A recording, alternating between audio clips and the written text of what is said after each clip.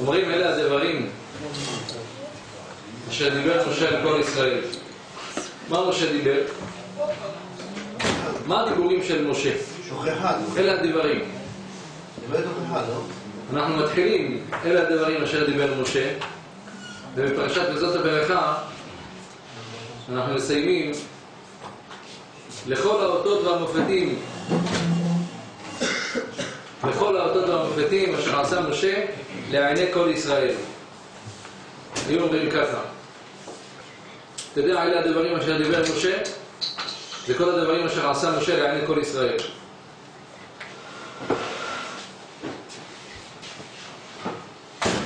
הדיבורים הכי טובים שיכולים להיות כשבן אדם בא להוכיח אשר עשה משה לעיני כל ישראל, שמשה בעצמו עשה.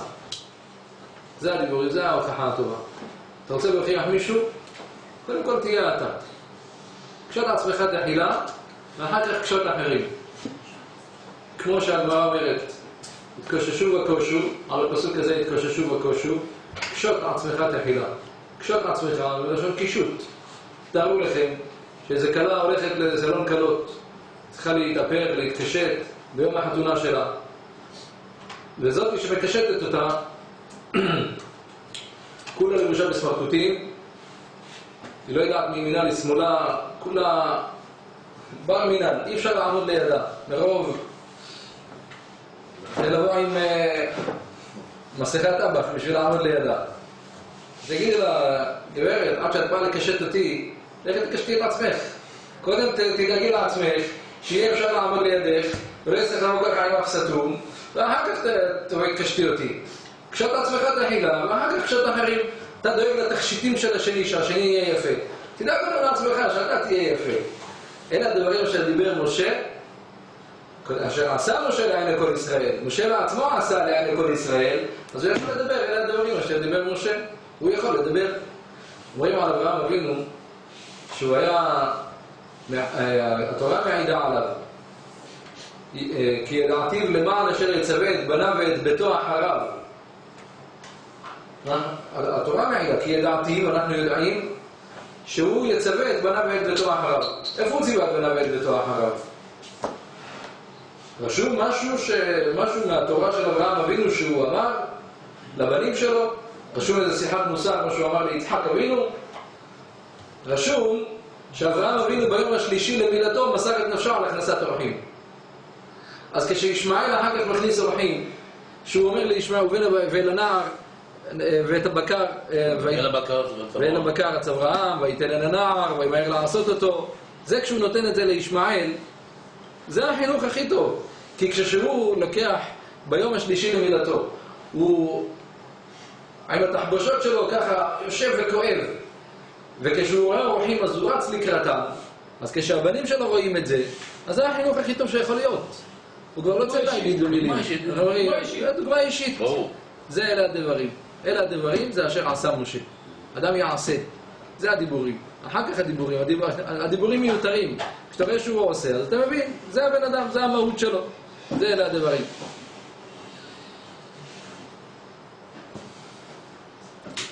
כתוב ואצווה את שופטיכם בעת ההיא לאמור, שמוע בין אחיכם ושפטתם צדק, בין איש ובין אחים ובין גרו.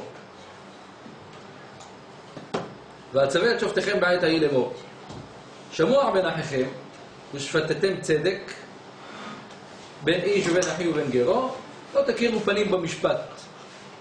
מה זה לא תכירו פנים במשפט? אז יש חי אומר, יש פעמים ששני בעלי הדין באים לדיין, והדיין מכיר את אחד מבעלי הדין. עכשיו כתוב שאסור לו לצדד בעד מישהו, אז הוא רוצה שאתה תגיד טענה טובה. אז כשבעל הדין, זה שקרוב אליי, הוא מתחיל לדבר, אז כשהוא מתחיל לדבר, והוא אומר איזו טענה שאני יודע שהיא ככה תעזור לו, היא תצדיק אותו, שאני ככה, מראה סימנים שאני מבסוט, כן, דבר, דבר, זה ככה, זה טוב, הטענה הזאת שאתה אומר, תשתמש איתה עד הסוף. פתאום אני רואה שהוא סוטה קצת, ככה, מתחיל לעקם את האף, מתחיל... אז הוא מבין מהפרצוף שלי שזה לא טוב. עזור בחזרה אחורה, דבר מה שאמרת מקודם. באה התורה ואומרת, לא תכירו פנים במשפט.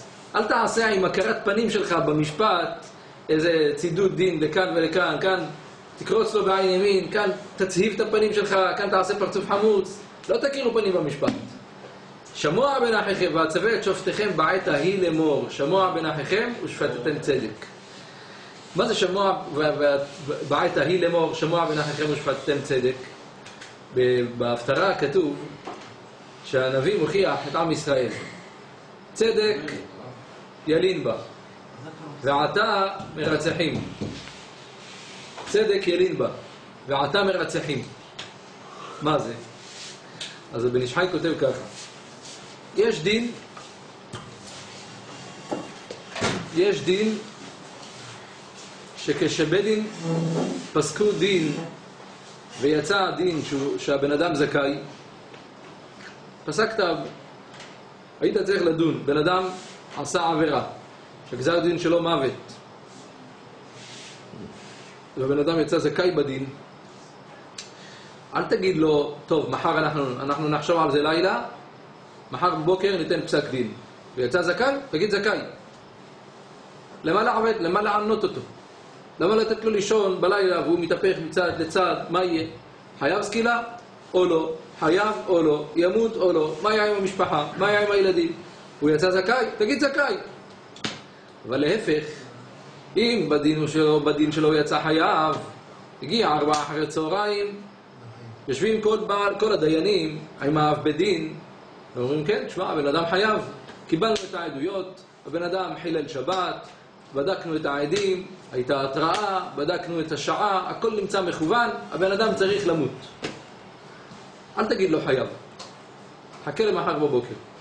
אולי עד מחר בבוקר תמצא איזה זכות, תמצא איזה, איזה משהו, יבואו עדים אחרים, יבוא איזה מישהו יגיד לך, תשמע, הבן אדם לפני כן שתה כדורים בטעות, אולי תמצא משהו. אל תגיד חייב, תחכה למחר בבוקר. אבל הנביא מוכיח את עם ישראל שכשהדיינים היו יושבים, היו הופכים את היוצרות. צדק ילין בה. כשהיה דין של צדק, הוא יוצא צדיק בדין שלו, לא, לא, חכה למחר בבוקר. צדק ילין בה, לך לישון, מחר בבוקר נפסק לך את הדין. אבל הוא יוצא צדיק בדין, אתה רואה שכולם פוסקים טוב, העדים, פוסקים לטובתו, למה תדחה אותו למחר? צדק ילין בה. ועתה מרצחים. מה אומר כן עכשיו? מה הוא לא דוחה למחר? מרצחים, שצריך לרצוח, עכשיו. בדיוק הפוך צריך להיות. זה התוכחה שישעיה מוכיח את עם ישראל. אז אומר הבן איש חי, ואצווה את שופטיכם בעת ההיא לאמור, מתי יש ציווי לשופטים בעת ההיא לאמור? שמוע בין אחיכם ושפטתם צדק. מתי ש- שאתם שומעים בין אחד ואתם יודעים, זה עכשיו יוצא צדיק בדין, זה בעת ההיא לאמור, זה עכשיו תגיד, אל תדחה את זה למחר. אבל כשזה דין שיוצא לחובה, אז תדחה את זה למחר. שם אדרבה, שם אתה צריך לדחות אותו. כדי שלא... אולי יבוא משהו. יכול להיות שכמו שהמשנה אומרת, אפילו יצא כבר ל- ל- לבית הסקילה, אם בא מישהו ואומר, מצאתי לו זכות, מחזירים בחזרה את כולם. מורידים אותו, גם הוא על עצמו. עצמו, אה, רגע, יש לי איזה משהו ללמד זכות על עצמי, מחזירים אותו, לאט לאט, לא. ממהרים. כמו שהמשנה אומרת במסכת מכות, בדין שהיו, הורגים 70 שנה. פעם ב-70 שנה, נקראת חבלנית. זאת היא קט- הורגת, קטלנית. מה אתם הורגים? פעם ב-70 שנה. כאן גם נראה גם כן מה... אמנם שם כתוב שאמרו אף אתה היית מרבה שופכי דמים בישראל, כי הרוצחים היו אומרים, "אה, לא מטפלים בנו, הרי אפשר לעשות מה שרוצים. אבל אף על פי כן, היה מורא. כשהיה יראה מהחכמים, ישראל היו שורים על אדמתם, סנהדרין, יד ישראל הייתה תקיפה, אז היו מפחדים. אתה רואה שלא היו צריכים להרוג הרבה. אנחנו מתפללים, נשיב שופטנו כבראשונה ויועצנו כבתחילה, והסר ממנו יגון והנחה. אז שנה שעברה דיברנו על זה, שבכל התפילות, בכל הברכות, אז הבקשה בתפילה היא בקשה אחת. אתה חונה לאדם דעת מלמד האנוש בינה, מה אתה מבקש? חוכמה, בינה ודעת. השבנו אבינו לתורתך, אתה מבקש, רוצה בתשובה, חוזר בתשובה. סלח לנו, אתה מבקש סליחה. אין ברכה שהיא, תפוסה, שהיא כלולה משתיים. אבל בהשיבה שופטנו כבראשונה, אתה מבקש השיבה שופטנו כבראשונה, ויועצנו כבתחילה, ועוד מה? נעשה ממנו גול והנחה. זה היית מבקש ברפאנו. מה נכנס פה עכשיו בהשיבה שופטנו כבראשונה ועשה ממנו גול והנחה? לא רק שאתה אתה רוצה תכניס, אבל אין ברכה בתפילת שמונה עשרה שהיא כלולה משני העניינים. ברכה בדרך כלל היא כלולה מדבר אחד. אנשי הכנסת הגדולה כשתקנו, רק דבר אחד, לא משניים. ובברכה הזאת יש שני העניינים. זה לא עניין, זה עניין אחד. למה העניין אחד? כי אין שופטים, הכל יעני, מעוותים את הדין. זה עוול שאין כמוהו וזה הצרה שאין כמוהו. מצוין. פשוט מאוד. אז באמת, אנחנו אנשים פשוטים. מתאמץ. באמת, זו שאלה שהראשונים שאלו אותה. בלי כל התת"ר. כתוב, ב, כתוב במשלי, ובמשול רשע יאנח עם. ובמשול רשע יאנח עם. כשהרשע מושל, כשהרשע מושל, אז יש הנחות. כולם נאנחים.